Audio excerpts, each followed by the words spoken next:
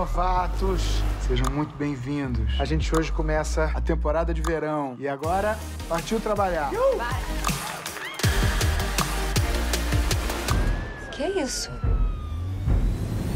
Mãe, A senhora está presa por lavagem de dinheiro e corrupção ativa. cuida da minha filha, Vilma. Oi, eu falei com a Vilma e a partir de agora a gente é roommate. Conrado, eu sou virgem. Mas enfim, eu vim aqui pra ilha pra mudar isso. Se você quiser, eu posso te passar a ficha inteira dele. A melhor notícia é que ele é solteiro. Por que, que você tá falando isso pra mim? Processo seletivo pra salva-vidas? Não está? Isso aqui não é ser independente. Eu acho que você tem encarado muitas coisas aqui nessas semanas. Digamos que eu resolvi dar uma chance pra esse lugar. Sente a vibração que o som chegou. Bota o pé na areia e deixa a onda entrar. Tá geral na pilha, então demorou. Vem que é da boa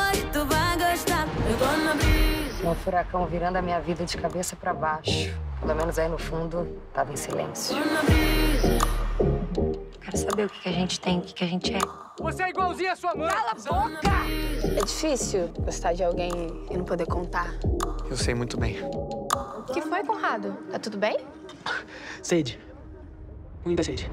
É ficar suave numa boa, tranquila.